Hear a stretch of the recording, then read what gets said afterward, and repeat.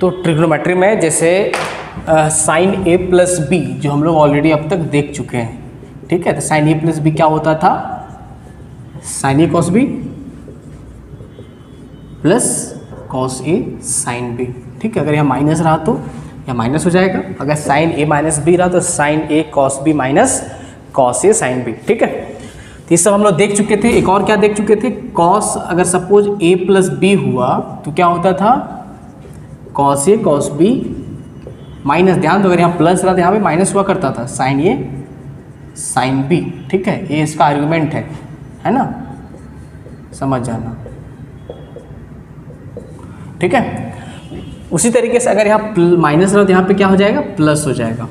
ठीक है सब हम लोग देख चुके थे। नेक्स्ट देखते हैं, अगर मान लिया, मेरे को बोला है, चलो बताओ कि sine A plus B plus C क्या होगा? ठीक है? Sine A plus B plus C क्या होगा? ठीक है सपोज़ ट्रायंगल का angle A angle B angle C अगर है, ठीक है तो sine A plus B plus C क्या होगा, ठीक है? तो इसको हम थोड़ा डिराइव कर लेते हैं। ऐसा कर लो, जैसे मैंने क्या मान लिया कि मैंने लेट अज्यूम कर लिया, b प्लस सी को मैंने d अज्यूम कर लिया, ठीक है? तो कर लेते हैं, चलो। तो यहाँ से साइन a प्लस डी मैंने फ़िलहाल बोल दिया, ठीक है? सॉरी यहाँ पे क्या हो गया? D हो गया। तो साइन ए प्लस डी फिर से सेम कहानी, क्या हो जाएगा? साइन ए कॉस डी, ठीक है? प्लस, समझ नहीं ही है ठीक है? कॉस ए साइन डी हो गया, ठीक है? अब डी की जगह क्या लिखते हैं हम लोग? बी प्लस सी लिख देते हैं, है ना? ओपन करते हैं फिर से। तो साइन ए कॉस, क्या लिखा हुआ actually B plus C plus cos A sine B plus C, इसको ओपन कर लेते हैं फिर से। तो साइन ए, ठीक है? कॉस बी प्लस सी क्या हो जाएगा? Cos B cos C minus plus है ना माइनस हो जाएगा। साइन बी साइन सी हो गया, ठीक है? उसी तरीके से यहाँ पे क्या हो जाएगा? Cos A sine B plus C क्या हो जाएगा? Sine B cos C plus cos B sine C हो गया। क्लियर है? है ना? तो यहाँ से फिर क्या हो जाएगा? देखो मल्टीप्लाई करते हैं इसको। क्या हो गया? Sine A cos B cos C ठीक है? इसको लास्ट में देखेंगे, ठीक है? इसको मल्टीप्लाई करके यहाँ रखो ठीक है? तो क्या होगा इस तरीके से? यहाँ पे sine B cos A cos C फिर इसको मल्टीप्लाई करने पे क्या होगा? Plus sine C cos A cos B ठीक है? तो लास्ट में क्या हो जाए? Minus sine A sine B sine C this is sine A plus B plus C ऐसा लिखने रीजन ये था कि थोड़ा मेरे को पैटर्न समझ में आ रहा है इस जगह पे, ठीक है? जैसे देखो sine A plus B plus याद करें, थोड़ा हेल्प भी करेगी ये चीज़, है ना? जैसे sine A plus B plus C बोला गया तो मैंने क्या किया? साइन ए अगर साइन ए यूज़ कर रहे हैं, ठीक है तो बाकी कॉस कॉस भी कॉस ए साइन ए का काम हो चुका है प्लस साइन बी लिखा मैं तो क्या हो जाएगा, क्या बच गया? बी और सी वाला एंगल बच गया। जिसको कॉस के साथ डाल दो तो cos A cos C. Plus sine C cos A cos B, और लास्ट में minus sine A, sine B, sine C. इसको कंप्रेस करके हम लोग ऐसे लिख सकते हैं इस चीज़ को। Sine A plus B plus C को अगर मैं कंप्रेस करके लिखना चाहूँ तो इसको मैं बोल सकता हूँ sigma sine A cos B cos C ठीक है this minus product of sine A means जितना पैटर्न बन सकता है, उन सबको मैंने लिख दिया कंप्रेस करके, ठीक है ए बी सी एंगल है तो ठीक है? तो this is sine A plus B plus C ठीक है? तो ये सबको समझ में आ गया? उसी तरीके से अगर मान लिया मेरे को बोला जाए चलो cos A plus B plus C क्या होगा तो सेम तरीके से मेरे को कर लेना उसके लिए भी, ठीक है? क्या हो जाएगा? सपोज़ बोला जाए कि cos A plus B plus C क्या होगा, ठीक है? तो हम लोग कर लेंगे, फिर इसको डी मान लेंगे, ठीक है? तो इसका एक्चुअली होता क्या चीज़ बता देता हूँ, देखो यहाँ पे क्या हो जाएगा? Cos A cos B cos C हो जाएगा, देख लेना, ठीक है? यहाँ पे क्या हो रहा था इस जगह पे? कॉस बी कॉस सी आ रहा था इस जगह पे ना? अब यहाँ पे क्या लगा दो? माइनस लगा दो, ठीक है? माइनस लगा दो, ठीक? है अब यहाँ पे क्या हो जाएगा? कॉस ए लिखो इस जगह पे, है ना? तो अगर कॉस ए लिखें क्या हो जाएगा यहाँ पे? साइन बी साइन सी बाहर माइनस लगा दो, या फिर ठीक है बाहर कॉमन निकाल सकते हैं समय माइनस ही लगा दो, ठीक है, फिर कॉस भी लिखेंगे इस जगह पे, क्या हो जाएगा? Sine A sine C minus cos C क्या हो जाएगा? ये हो जाएगा साइन ए साइन बी तो अगर मेरे को इसको कंप्रेस करके लिखना हो cos A plus B plus C क्या बोलेंगे? Product of cos A minus sigma cos A sine B sine C जिसको प्रोडक्ट और सिग्मा को लेकर दिक्कत होगा तो हम लोग सीक्वेंस सीरीज़ के फ़र्स्ट लेक्चर में सिग्मा के बारे में प्रोडक्ट के बारे में देखते हैं वहाँ पे, ठीक है? तो इस तरीके से इसको ध्यान रखना है। तो फ़र्स्ट क्वेश्चन क्या बोला है, देखो। मतलब प्रूफ दैट क्या बोला गया है? सॉल्यूशन देखते हैं फ़र्स्ट क्वेश्चन का। वीडियो देखने से पहले कोशिश करना कि चारों क्वेश्चन पहले खुद से ट्राई करना है, ठीक है? देन इस वीडियो को आगे देखना है। डायरेक्ट वीडियो देखने से कोई फ़ायदा नहीं है, कोई मूवी नहीं चल रहा है, कि तुम डायरेक्टली वीडियो देखना स्टार्ट कर दो। क्या चल रहा है उसको पहले खुद ट्राई करो चारों क्वेश्चन को, क्योंकि हम लोग इससे पहले कुछ कुछ फॉर्मूला देख चुके हैं, ठीक है? उसका यूज़ करो अप्लाई करो। अगर नहीं, ना बने देन आगे देखने की ज़रूरत है, ठीक है? तो फ़र्स्ट क्वेश्चन क्या बोला गया है? फ़र्स्ट सेकेंड थर्ड फोर चार क्वेश्चन पहला क्वेश्चन क्या बोला गया? Cos 45 degree minus A into cos forty degree देखो. Cos 45 degree minus A into cos 45 degree minus B minus sine 45 degree minus A into sine 45 degree minus B equal to sine A plus B ये proof करना है, ठीक है? तो ऐसा कर देखो, सबसे पहले समझो। कॉस ए अगर मैं इसको ए की तरह ट्रीट करूँ, इसको मैं बी की तरह ट्रीट करा तो cos A cos B minus sine A sine B लिखा हुआ है। और cos A cos B minus sine A sine B क्या होता है? कॉस ए प्लस बी होता था।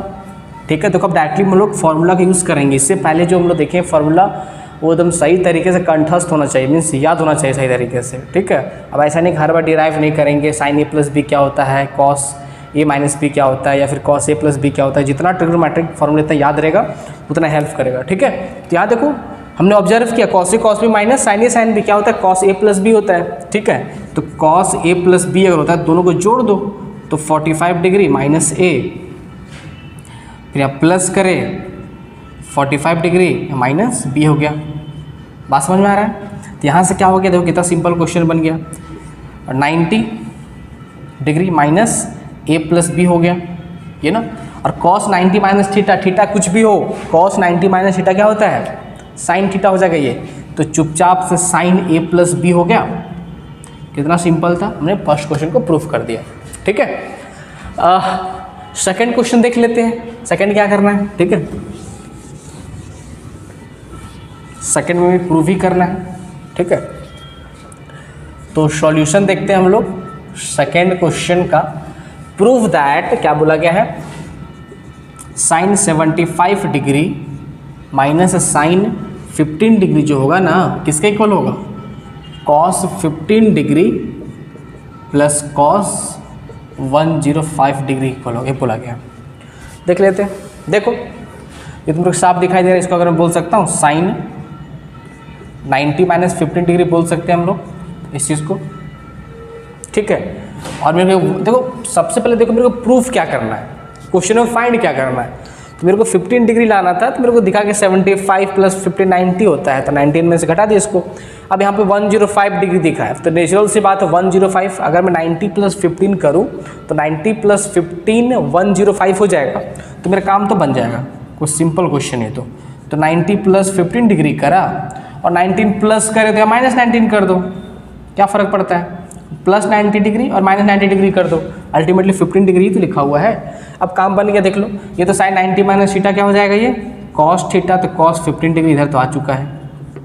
माइनस, अब देखो एक काम करो यहाँ पे, ऐसा लिखो। ये क्या 105 डिग्री हो गया? दोनों को अगर जोड़ दिया तो माइनस नाइन्टी डिग्री हो गया। ठीक है? अब देखो, हम सबको पता है कि अगर नहीं पता, ध्यान पता तो होगा, बता रखे पहले।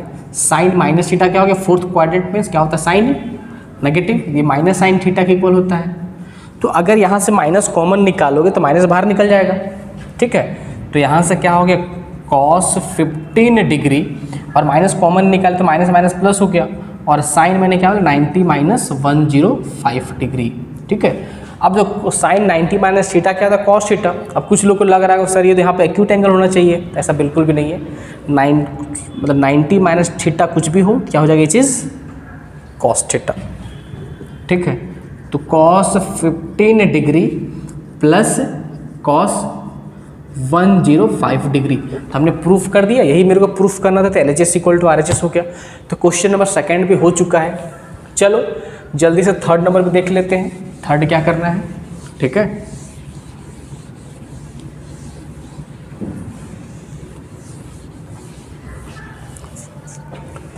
मेरे को सॉल्यूशन किसका फाइंड करना है? थर्ड नंबर का।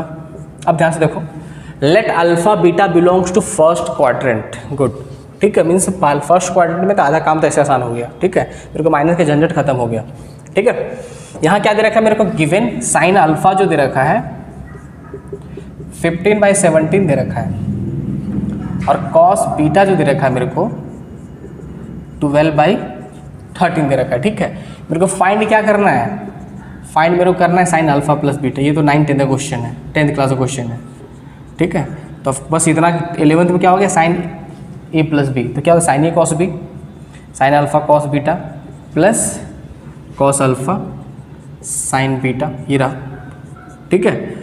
ऑफकोर्स साइन अल्फ़ा पता है कॉस बीटा पता है, बस यहाँ से साइन बीटा निकाल लो।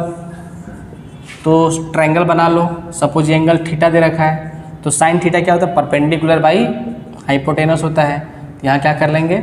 सेवेंटी का स्क्वायर माइनस फिफ्टीन का स्क्वायर कर लेंगे। और इसी तरीके से क्या कर लेंगे ये? इसके लिए कॉस के लिए क्या होता है? अगर यहाँ पर थीटा वन दूसरे या थीटा इसको लोगे तो क्या है? B by S that means twelve by thirteen होता है। तो ये फाइव हो जाएगा। ठीक है?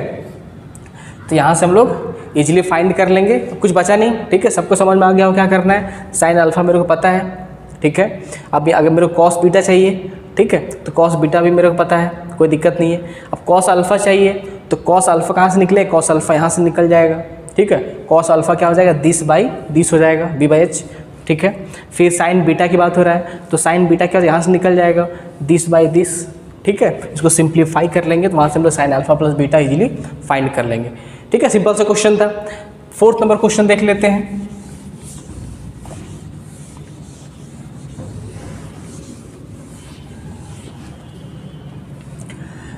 फोर्थ का सॉल्यूशन देख लेते हैं। तो क्या लिखा हुआ है? हाँ इस तो इस टाइप क्वेश्चन अगर दिखे तो होता है ना, हमेशा पैटर्न को ऑब्ज़र्व करना है। ये तो यहाँ पे साइन ए माइनस बी अगर लिखा हुआ है तो यहाँ पे कॉस ए कॉस बी है। अगर बी माइनस सी है तो यहाँ पे कॉस बी कॉस सी है। अगर साइन सी माइनस सी है तो कॉस सी कॉस सी है। तो अगर मान लीजिए ये समझो कि अगर यहाँ से जो वैल्यू निकलेगा, ठीक है, उसी तरीके का पैटर्न यहाँ भी बनेगा, उसी तरीके का यहाँ भी बनेगा। तो कंप्लीट को सॉल्व ना करके किसी एक को सॉल्व करो, उसे काम बन जाएगा। जैसे मैं पहले इसको सॉल्व करता हूँ, ठीक है, देखो क्या लिखा हुआ है? Sine A minus B divide by क्या लिखा हुआ है? Cos A into cos B लिखा हुआ है। तो साइन ए माइनस बी क्या हो जाएगा? Sine A cos B minus cos A sine B हो गया। ठीक है? डिवाइड बाई क्या बोला गया है? अलग अलग कर दो। कॉस ए कॉस बी हो गया। यहाँ भी कर दो। कॉस ए कॉस बी कर लिया अब यहाँ से क्या हो गया? देखो cos B cos B cut गया। यहाँ cos A cos A cut गया। तो sine A by cos A क्या हो गया ये? टेन ए हो गया। ये क्या हो गया? Sine B minus cos B हो गया मेरा टेन बी अब देखो, मेरा थोड़ा टाइम बच जाएगा। अब समझना, अगर यहाँ से tan A minus tan B आ रहा है तो यहाँ से tan B minus tan C आएगा और यहाँ से tan C minus tan E आएगा। ठीक है? बाई ऑब्जर्विंग ठीक है? या बाई ऑब्जर्विंग पैटर्न जो बोलना चाहो, ठीक है? क्या हो जाएगा यहाँ से? Tan A minus tan P यहाँ से। इसमें क्या हो जाएगा? Plus tan P minus tan से सेम काम इसके साथ भी करना है। Plus tan C minus tan A कर लोगे। सब कट जाएगा, देखो, ये इससे कट गया, ये इससे कट गया, ये इससे कट गया तो फाइनली क्या आ गया? ज़ीरो। तो ज़ीरो इक्वल टू ज़ीरो तो प्रूफ कर दिया हमने, ठीक है? तो इस तरीके से चारों क्वेश्चन मेरा सॉल्व हो गया।